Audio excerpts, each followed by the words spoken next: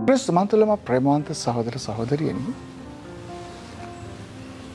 අපි අවබෝධ කරගන්නට ඕනා ලස්සන සත්‍යතාවක් තමයි ඇදහිල්ල එම නැත්තං විශ්වාසය ජේසුස් වහන්සේගේ බලය මුදා හරිනවා මාධ්‍යයක්.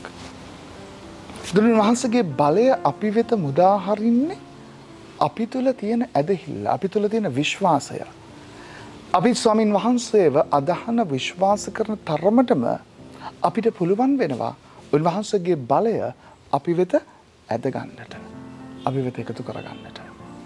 අද අපි දකින උන්වහන්සේ ජනසරත්වලට පාතබද්දී උන්වහන්සේ බෝට්ටුවම ඉන්නේ. මිනිස් උන්වහන්සේ ළඟට එනවා ඒත් උන්වහන්සේව අල්ලන්නටවත් උන්වහන්සේ ඉඩක් දෙන්නේ නැහැ.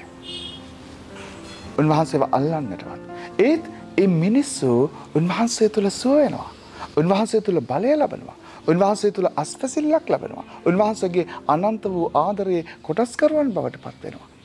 හේතුව ඔවුන්ගේ ඇදහිල්ල එ විශ්වාසය. අපේ ජීවිතයේ අපිට නැත්තම ඒකයි ප්‍රවන්තෙන. අපි ගොඩාක් වෙලාවට අපි කියන අපි හරි ආදරණීයයි භක්තිවන්තයි ස්වාමීන් වහන්සට අපි හරි ආදරී එහෙමගේ අපි කියනවා නැනුව නැතුවනම අපි ගොඩක් ආදරේ මන් දන්න ඔබ ගොඩක් ආදරය කියලා. නමුත් සමහර වෙලාවට අපි අපේ යාඥා අපේ අපි කරන කියන ගොඩාක් දේවල් ස්වමින් වහන්සේ තුළ අපිට ලැබෙන්නේ නෑ කියලා හිතන අපිත් සාක්ෂාත් වෙන නෑ අපේ ජීවිතේ. ප්‍රමන්තිනි ඇයි අපිට එහෙම ලැබෙන්නේ නැත්තේ ඇයි අපිට ඒවා අයිතිවෙන්නේ නැත්තේ කියලා අපි කල්පනා කරනකොට. ගොඩාක් වෙලාවට අපි යාඥා කරන්නේ හරි බයෙන්.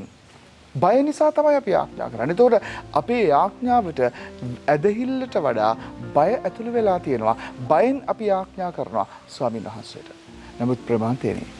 ඇදහිල්ලෙන් අපි යදිනකොට ඇදහිල්ල තුළ අපි ක්‍රියාත්මක වෙනකොට ඇදහිල්ල තුළ අපි ජීවත් වෙනකොට ඒ විශ්වාසය ඇදහිල්ලට පුළුවන් වෙනවා ජේසුගේ බලය අපි වෙතට අරගෙන එන්නට.